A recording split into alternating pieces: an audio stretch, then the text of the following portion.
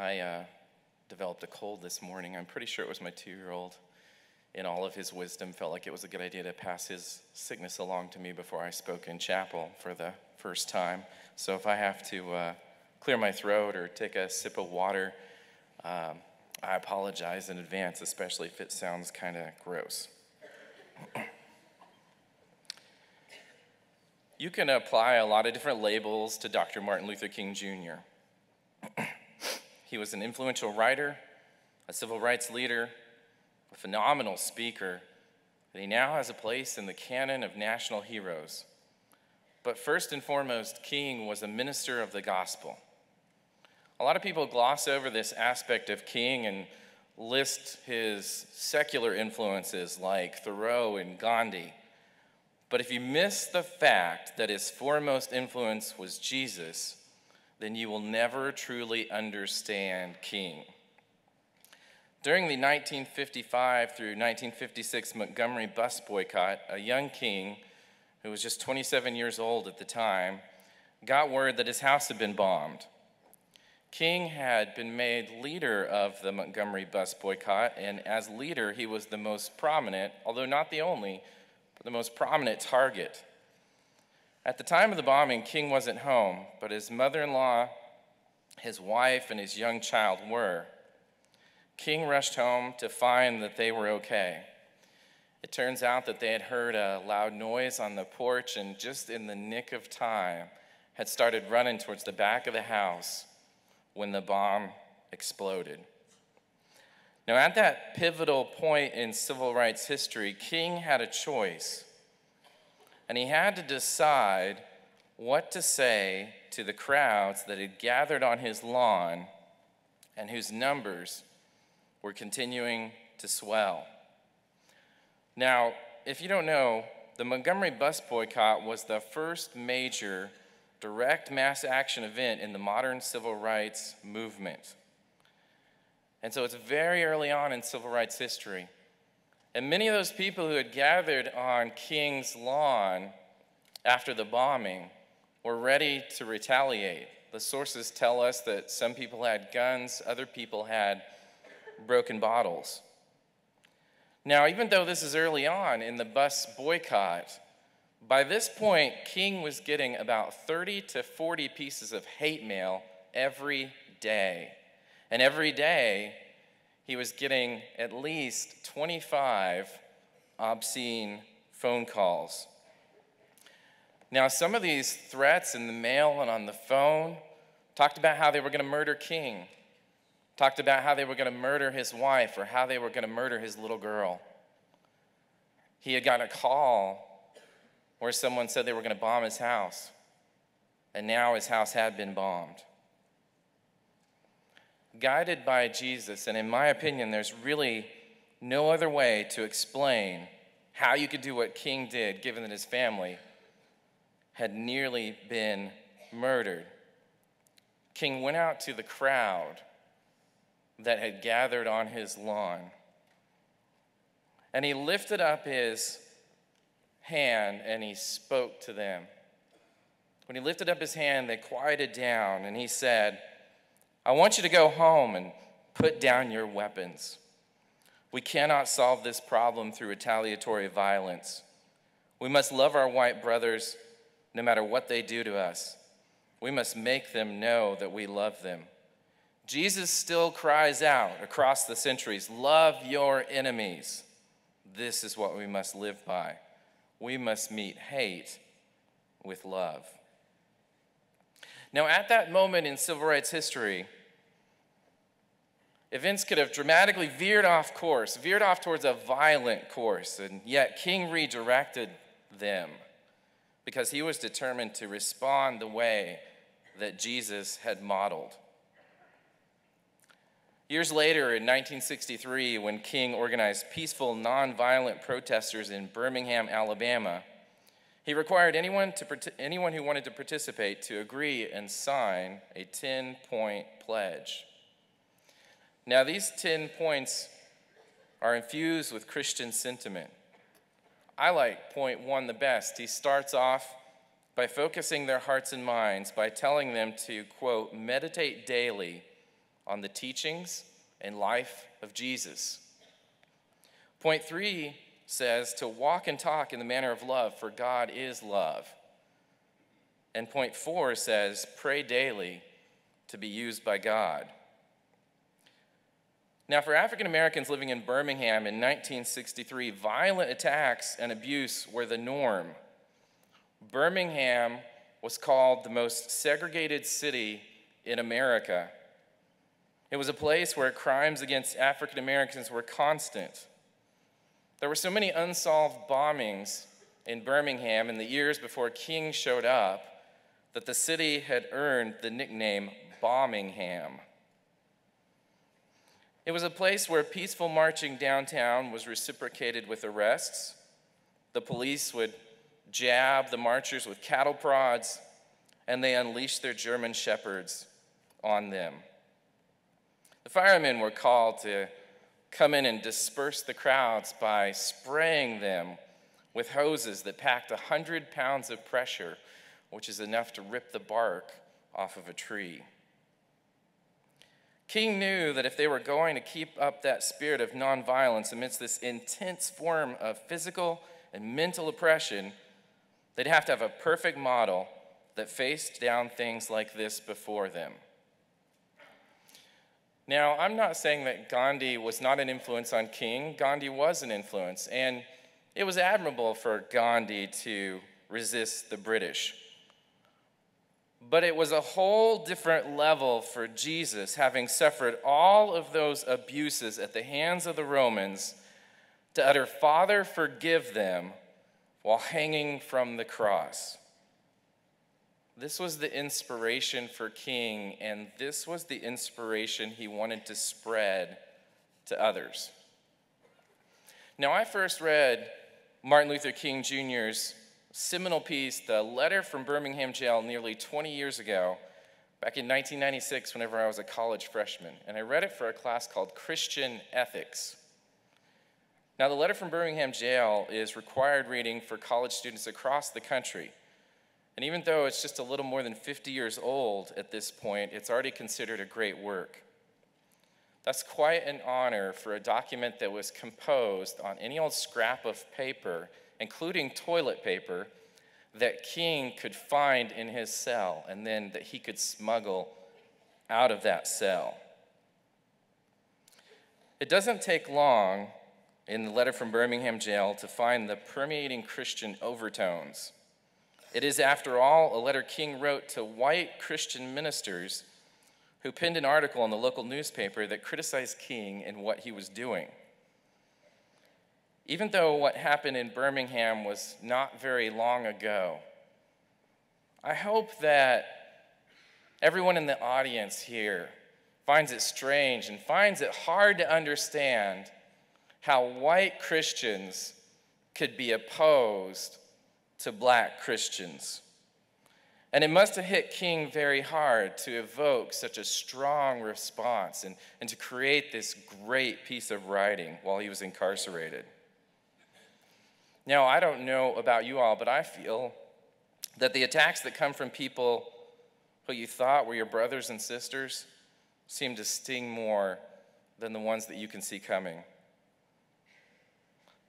To counter their rebuke, King lists a host of religious precedents from theologians like Niebuhr and Aquinas to biblical examples like Shadrach, Meshach, and Abednego. Now, I've read the letter from Birmingham jail maybe 15, 16 times, maybe more, and I can hardly get through it without crying. In fact, I kind of wondered whether I should include an excerpt from it here in this chapel presentation because I really didn't want to break down and have to pause and compose myself. Just thinking about this part that I'm about to share with you caused my face to convulse and tears to start coming out of my eyes whenever I was writing this speech. Those white ministers and many others in Birmingham and across the nation at the time wanted King and other African Americans to wait. Now, I've read a lot of accounts of the Sermon on the Mount, and a lot of theologians argue that the purpose of Jesus' instructions to turn the other cheek were to make your attacker look you in the eyes They backhand you, and you have to turn and face them, and they have to look you in the eyes while you show them your other cheek. And in that way, it pricks their conscience and hopefully changes their hearts, and they see what they've done to you.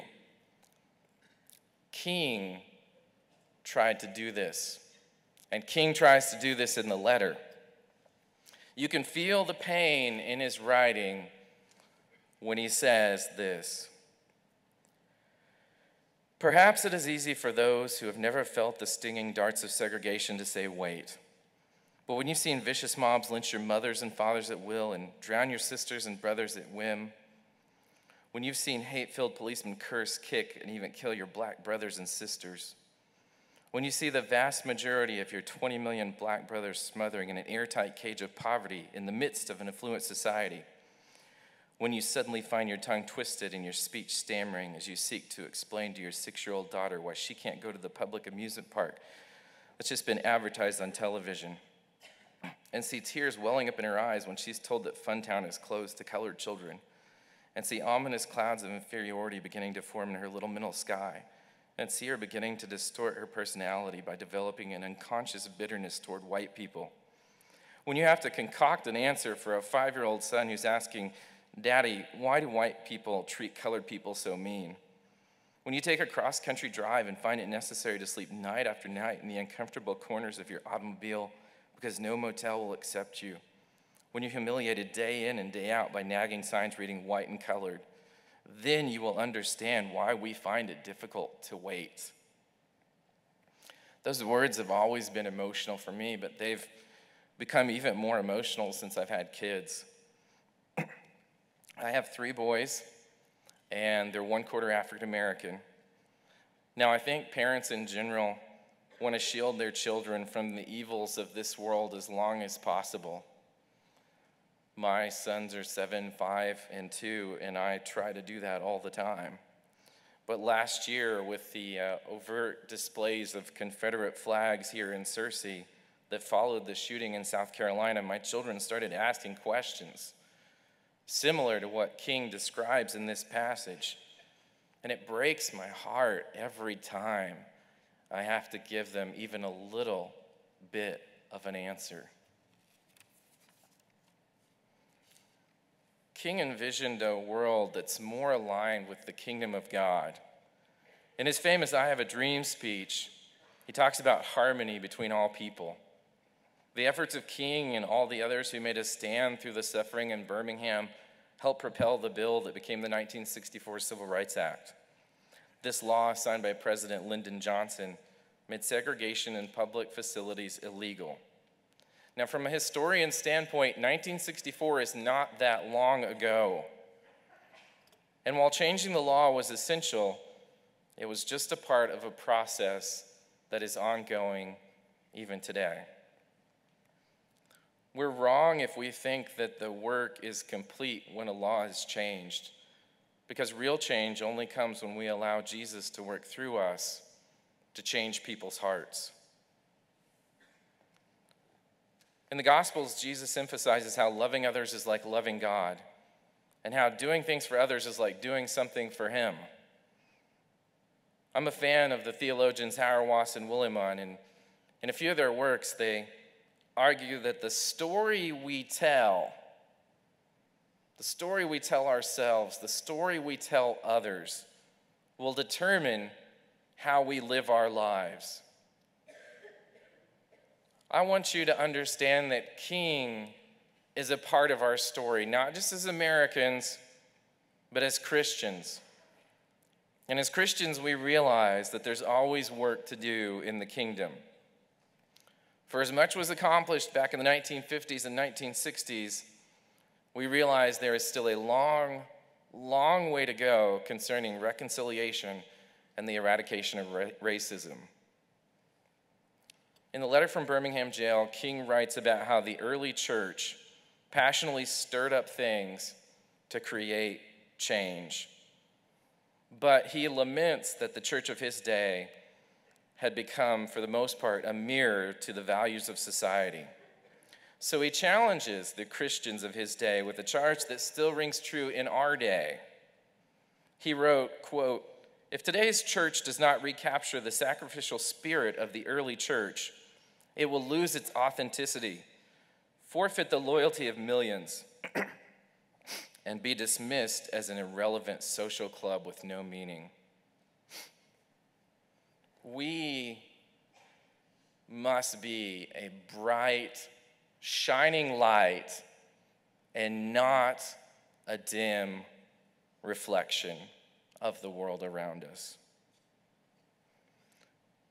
When I started working here at Harding back in 2007, the university did not dismiss classes for MLK Day. But that very year, this campus saw change. The Student Association put forward the proposal to observe the holiday, and that spring, the faculty took the much needed step towards observing this day. That first year that I taught here, we met for classes on MLK Day. and so I spent class time talking about King, about his contributions, and about his importance to our story. And after class, an African American student came up to me and she had tears of joy pouring down her face. Tears were streaming down, and she thanked me for speaking about King because it meant so much to her that one of her professors had talked about him. Now, it turns out that this made quite an impression on all of the students in that class because at the end of the semester, after classes were over, I read my teacher evaluations, and more than a few students wrote, Made a girl cry in class. They didn't understand the positive impact that that presentation had had on that particular student. And when the faculty discussed observing the holiday, not everyone understood why we would take off a day of classes so early in the spring semester. Some of you might not understand why we get a day off a week into classes in the spring semester. When I came to Harding, I already had strong feelings about how we should get MLK Day off, but after that student came up to me after that class, it was crystal clear. As Christians, we're especially thankful that King steadfastly practiced the love, forgiveness, and nonviolence of Jesus so that our country could be reminded how to treat enemies and how, through Jesus and his methods, our nation could begin the process of real healing and progress. So we celebrate and remember him and the multitudes of others in the movement who experienced abuse without repaying it with violence, so that our country did not descend into a deep abyss of turmoil and strife. And we remember that every one of us has a part to play, for there's still much to do. I ask that on Monday, when you're not in class, when you're not in chapel, that you'll take a little bit of time to reflect on these things and think of the ways that you can do things for Jesus by doing things for others. Thank you for coming to chapel today. You are dismissed.